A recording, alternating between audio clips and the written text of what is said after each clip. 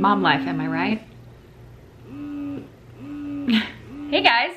So I'm sorry if you can kind of hear that noise. I'm just gonna say quickly, I was gonna hop on and share um, a little bit about my postpartum weight loss. And then my mom texted me, she watches Chunky on Mondays and Tuesdays and said, he is screaming uncontrollably and it's only been two hours since he ate.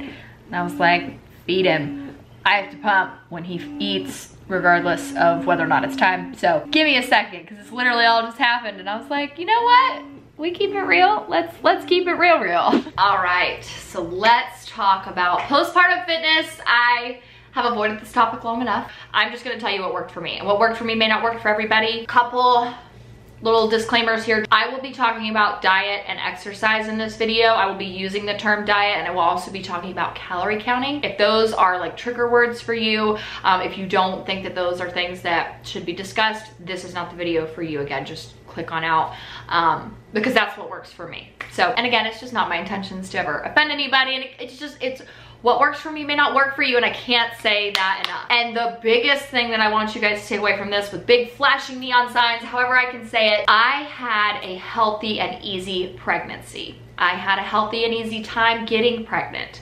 Um, I went to the chiropractor, which I do think that had a lot to do with why my labor was super easy. Labor from start to finish. I literally woke up at like, it was like 3.20 and I was like, holy this is a contraction. This is real. It is happening. This baby is coming today. It was 3 a.m. Baby was born at 5.02 p.m. I pushed for 20 minutes. Labor was a cakewalk, okay? And my son slept through the night starting at 10 days old. I don't know how, I don't know why, but I thank my lucky stars every day that he is a good sleeper, even through the sleep regression right now. He is a fantastic sleeper.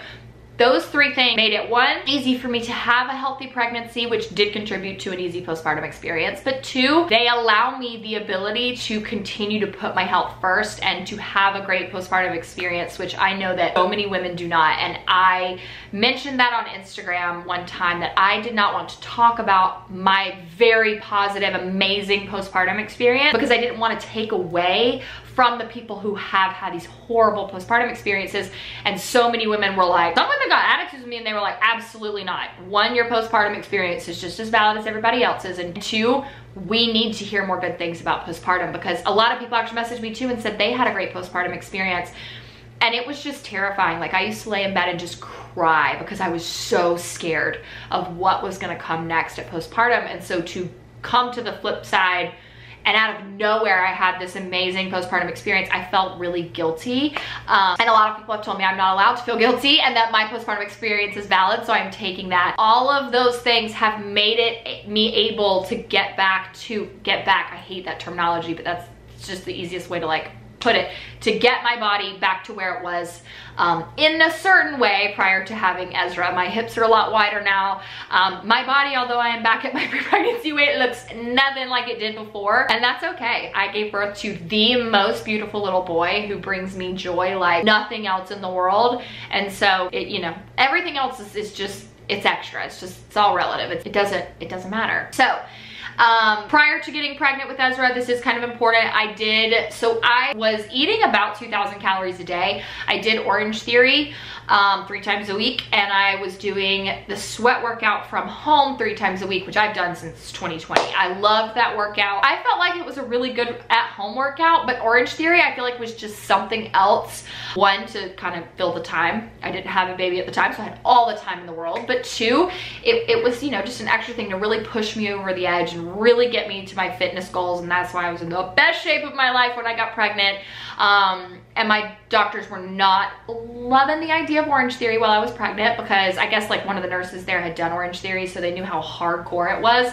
There are some pregnant women who do Orange Theory. There was a pregnant woman in my class but my doctor was not the not the most excited about it but still left the option up to me so because of her um, the way she kind of felt about it I, I decided not to do Orange Theory and throughout my pregnancy I continued doing the sweat workout three times a week. Um, I'll put the little picture up on the screen. It's available in the app store um, for I think both Android Android and iPhone, you do have to pay a monthly subscription worth every single penny in my opinion, which is why I don't share what workouts I do because those are hers. And I think one, it's also illegal to share something that someone else creates, but two, that's not right. Like I'm not gonna share something she worked hard on for free. So um, I did those three times a week and I also made sure that every single day of my pregnancy, I walked and walked and walked and walked because I heard that was a really good way to keep off swelling. I don't know if there was any truth to that, but I literally got to the end of pregnancy with no swelling and even after I had my baby had no swelling at all. So I do contribute a lot of that to my just miles that I would walk. Um, I always made sure I hit 10K steps every single day in pregnancy. So that was as far as fitness goes. When I got pregnant, I was trying to make sure I was the healthiest I could be. It took us about five months to get pregnant um, with Ezra and we just wanted to make sure that we were doing everything that we could because baby making is so out of control. There's not much you can really do except for do the baby dance and just hope it works um, at the end of the day. So we were just kind of taking our health really serious and felt like at least, you know, we're doing that. I don't know. And so we were eating very healthy. Lots of dark leafy greens, lots of grilled chicken. Um, I was eating salmon a lot, lots of eggs, avocados, um, whole foods. I still am a believer that everything in moderation and nothing is inherently bad for you unless you have an allergy or, you know, a sensitivity. Um, so I eat cake and cookies and I have always loved chocolate and I, I live to eat. I don't eat to live. So um, that's kind of how I, I took it. You know, I ate 90% very clean, 10% fun. And I loved that because it was just the perfect place for me. So get pregnant. Um, food aversions were horrible the first trimester. My doctor literally was like, honey, you just have to survive it. Like that's just our goal. It's just getting you through the first trimester. Then we'll see where you're at the second. Um, it was pretty much the day I hit my second trimester. Um, and I mean that truthfully, almost all my food aversions went away except for salmon, which kind of makes me a little queasy. Um, and I don't know why, because I loved it before getting pregnant. So I was able to eat healthy through my entire pregnancy. Um, and that helped when I got to the very end of my pregnancy, I gained a total of 29 pounds. So maintained my workouts and my healthy eating through my entire pregnancy, 29 pounds on the dot the day that I left for the hospital. I'm so glad. I was just curious. And so I told Sam, I was like, wait, let me go. I was stressing him out that morning. I was like getting ready and he was like, all right, let's go get in the car. And I was like, wait, let me weigh myself. And he was like, Moriah, can we go get in the car? And I wanted to take pictures. And he was like, if you don't get in the car, I thought he was actually gonna like pick me up and throw me into the car at one point. He was so stressed. I was like, wait, I wanna weigh myself. 29 pounds. Um, and I gave birth to an eight pound baby. And I came home and I weighed 17 pounds more than I weighed when I got pregnant.